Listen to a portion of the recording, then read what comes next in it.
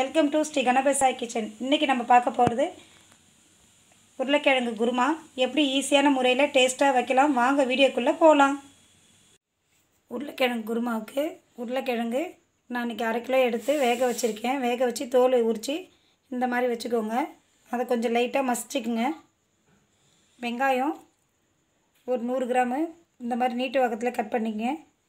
பச்சை மிளகாய் ஒன்று உடச்சி வச்சுக்கோங்க. தக்காளி பழம் பொடியாக நறுக்கிக்கங்க. நமக்கு தாளிப்புக்கு பட்டை கிராம்பு கல்பாசி இஞ்சி வாசனைக்கு கொஞ்சம் தட்டி வச்சுங்க செரிமானமும் இருக்கும். காரத்துக்கு குழம்பு மிளகாய் தூள் ஒரு ஸ்பூனு. உப்பு தேவையான அளவு. மஞ்சள் பொடி தேவையான அளவு. இப்போது குக்கரில் நான் அந்த தாளிப்புக்கு எடுத்து வச்சுருந்தேன் பட்டை கிராம்பு இஞ்சி பச்சை மிளகாய் வெங்காயம் இந்த மாதிரி ஒன்றா நல்லா ஃப்ரை பண்ணிக்கோங்க. இப்போ இது கூடவே எடுத்து வச்சுருந்த தக்காளி பழம். நல்லா வதங்கட்டும். இப்போ இந்த மாதிரி இந்த அளவுக்கு ஃப்ரை ஆகட்டும். இப்போ இது கூடவே நம்ம எடுத்து வச்சுருந்த உருளைக்கிழங்கு வேக வச்சு தோல் உரிச்சதும் இப்போது இது நல்லா இந்த மாதிரி மசிச்சுக்குங்க.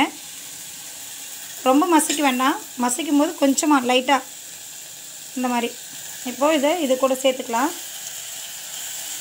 சப்பாத்திக்கு இது அவ்வளோ டேஸ்ட்டாக இருக்கும். தேங்காய் பேஸ்ட்லாம் நம்ம இதுக்கு எதுவுமே ஆட் பண்ணல. இது கூடவே மிளகாய் பொடி மஞ்சள் பொடி உப்பு. இப்போது தேவையான அளவு கொஞ்சமாக தண்ணி ஊற்றிக்கங்க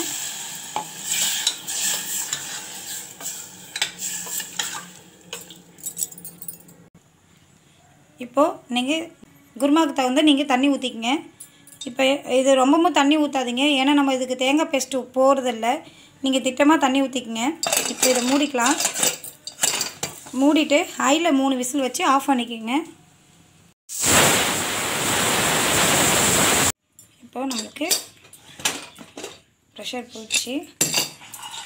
இது கூடவே கருப்பில் கொஞ்சம் போட்டுக்கோங்க.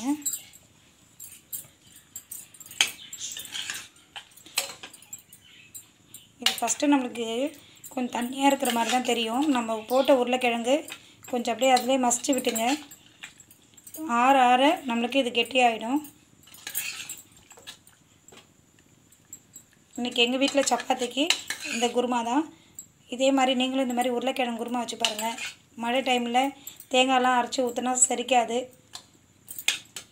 இந்த குருமா நீங்களும் ஒரு தடவை செஞ்சு பாருங்கள் இப்போ இதை நம்ம பவுலுக்கு மாற்றிக்கலாம் சூடான சப்பாத்தி.